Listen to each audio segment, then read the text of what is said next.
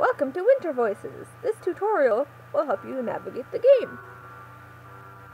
Anytime you wish, please check the boxes. And even though I have done the tutorial, I will leave it on for those that haven't, just so, you know, they can maybe learn a little bit about the game too.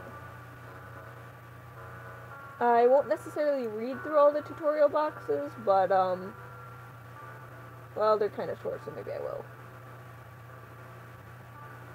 Uh, let's continue.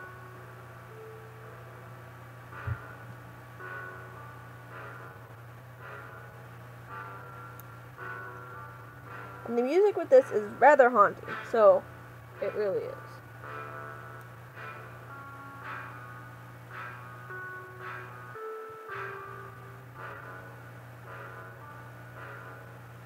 Alright, sorry. I am slowly distracted. Okay. See, we can move.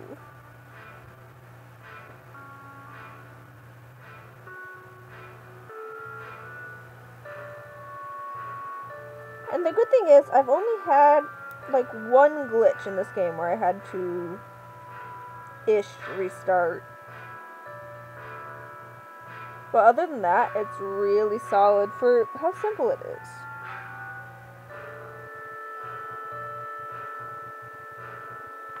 Alright, alright. Are you reading the tutorial? Good.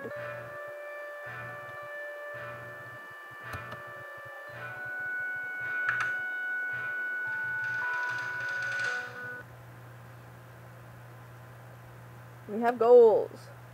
Oh, and to, I know it'll tell you how to do it, but to see your character sheet. Actually, hold on.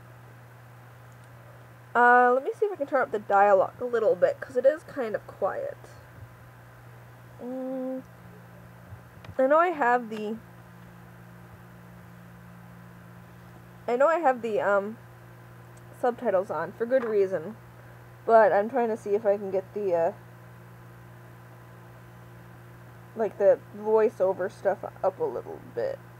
Doesn't look like I can, but we'll turn up the ambient volume a little bit.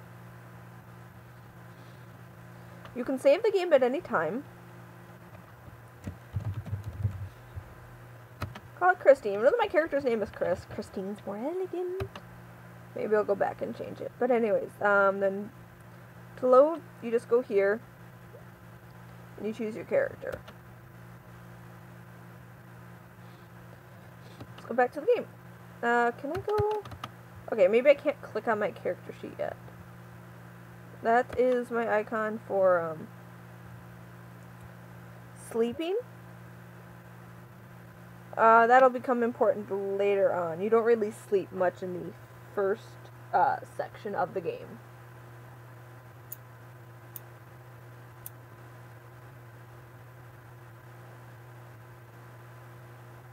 Or these first few tutorial parts, you don't really sleep a lot. Anyways, we're going to go see my dad, right? Yes.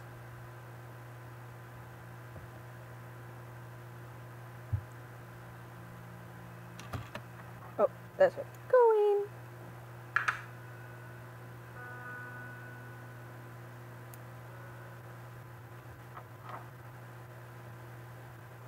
As you are sitting immobile by your father's side, it looks like the shadows gloom inside the room, more threatening, more alive. They put on a strange, almost bewitching show, that of a familiar darkness which moves, becomes human, metamorphoses. You are undoubtedly delirious, but it doesn't matter much. Now we get into combat. You've entered your first battle. Alright. Our goal is to escape, escape through the door. That door, there. And then his spirit was dead, his body fell to the earth. The murder was consummated, the childhood came undone. They sat down dreadful atop the walls of dust, what will the worms do with this intangible flesh? The worms do their work, weariness, sleep. They stretch, they cease, they weave the years together miraculously. They mold the human shape, they shave, the shape the differences. They are close to the roots where the trees begin, where the tree begins.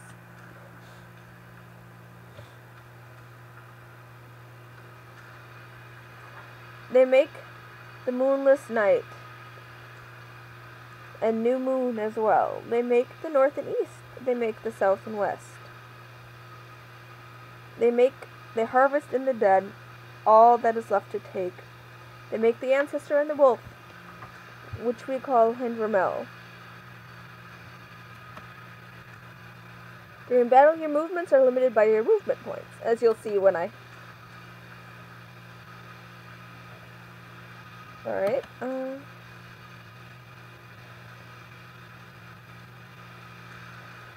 When you were little, you used to look out the window in search of new images, of new lights, of useless things. What do you look for today?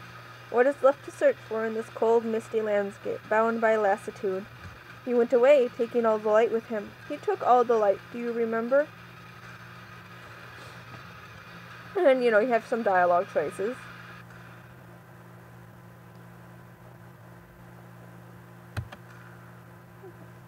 Once you have spent all your movement points, you must end your turn.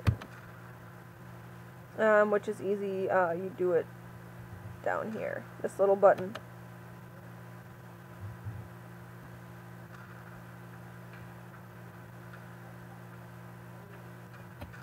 Alright, I have repulsion. That's the first thing you learn. It has a limited range. And now that I have more movement, move to the door. Do you find him frightening now? Yesterday he was a mountain, a demon, a threat. Today reduced to a state of refuse. What could he do? A pale, inert, already cold skeleton, his eyes dead, his body stiff. He doesn't expect anything from you any longer. And then I get leave me alone. He is definitely stiff as a poker. Be quiet. Such is life. He lived more than 45 years in the village. Few men could say the same. Uh, since I'm kind of going with the... Eh, I don't know if... I don't remember what I said in my other game, so I'm just gonna go stiff as a poker. Because humor is how I cope. And now you leave, without any respect for the one who made you the way you are. You flee. You flee his useless corpse. You flee the sight of his empty, azure-circled eyes. You flee his room where nothing holds you back.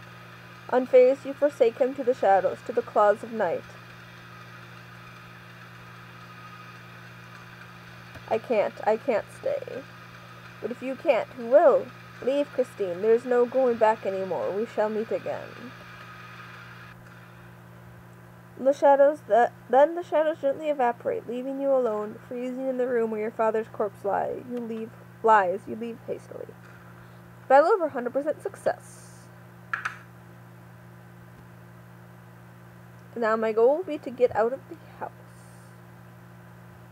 I believe it's going to trigger another fight. I don't remember though.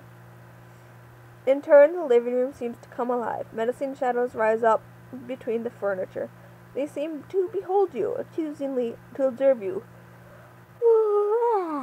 to scrutinize you. This phantasmic, surrealist decor intensifies your distress. And then we're back into combat.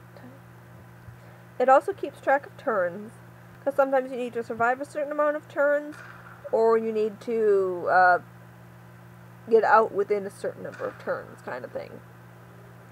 Hallucination, escape through the door.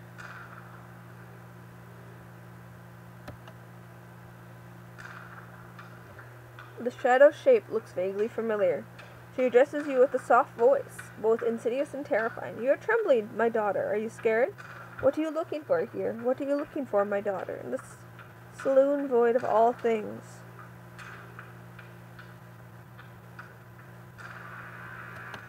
Just want to cross the room in peace. Where will you go? You can't even stay up. Christine, why do you have to be so stubborn? Your knees are quivering. You're just about to collapse. How long has it been since you last slept?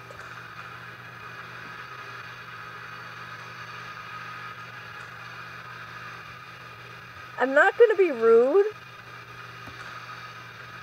Yes, my sweet. I know. Come, come with me. Smile. No, I don't really want to die yet. That's the Shadow of Doubt. That's uh, Terrifying Shadow, Terrifying Shadow, Terrifying Shadow. They all have uh, names and stuff. Um, since we have the PP, we're gonna push this asshole back. Eventually I'll be able to... One of the moves I like upgrading to is when you push them back, you push yourself back too, which can be quite useful when used right. I can use it really well. You have suffered damage, you will start getting more energy points. That's my hit points up underneath my portrait. At each turn, I regain a little bit of my energy. Um, I've just learned anticipation, which helps to distract myself from getting badly hurt. And then I'm moving forward again. And then I'm gonna actually push this guy away again. Oh, I can't push that guy. Oh well. I'm gonna push this thing away. Because they can't move yet.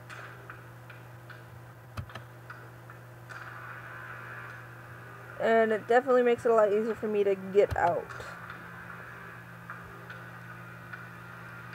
Then I get all this. And long bears enemies keep track of what happened.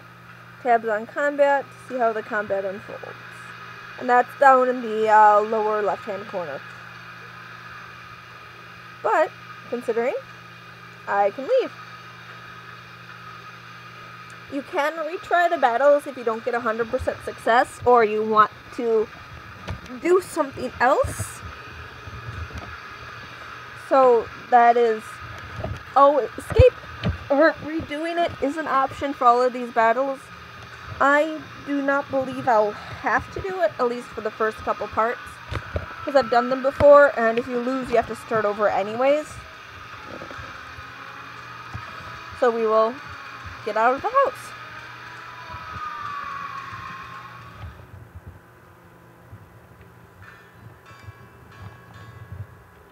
And we have As I Lay Dying. Progress 2 out of 100. It is wise to save.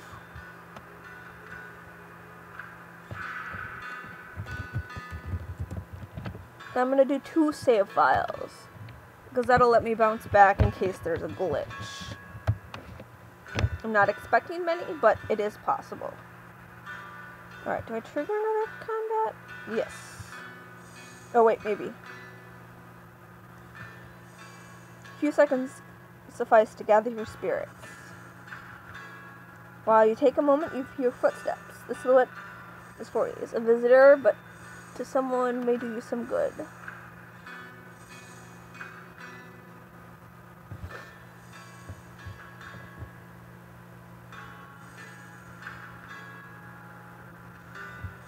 A man approaches. His beard is blond, his eyes so clear blue one would think they are white. It is your father, standing in the snow. He is fixing you in silence. You are not afraid. You are simply surprised. I stepped into an avalanche. It covered up my soul. Oh, no. I said, uh, yep. there was going to be another combat right after this. Certain areas are larger than your view can show at once. You can move by going up to the edge of the screen. I need to get to Dad. Um, okay, let's start the battle.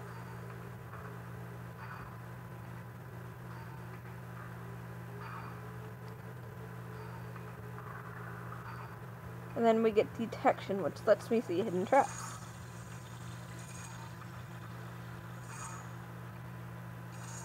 And those are going to be ones you want to avoid. Some traps will take away life. Some traps will um, stop you instantly. Uh, the one I just stepped on did 17 damage. But with that, I should be able to get to my dad within...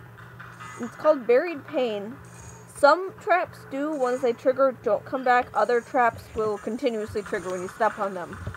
It gets really difficult later on when enemies can push you towards them which is why I like certain abilities that let me push them against things as well. What are you doing outside in the cold? Are you leaving?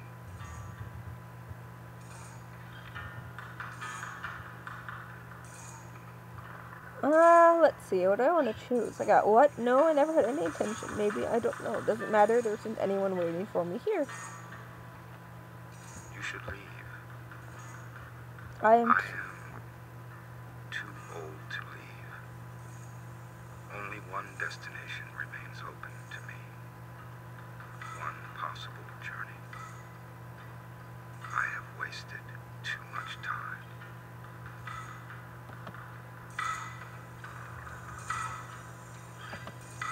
Isn't that what you should do? Don't you want to, anyway? It's in your nature. It was in your mother's nature. It is in mine. That's true. I am an appearance, a memory, a fragment you own. Try not to talk too much over I dialogue am what is left of you. where people speak.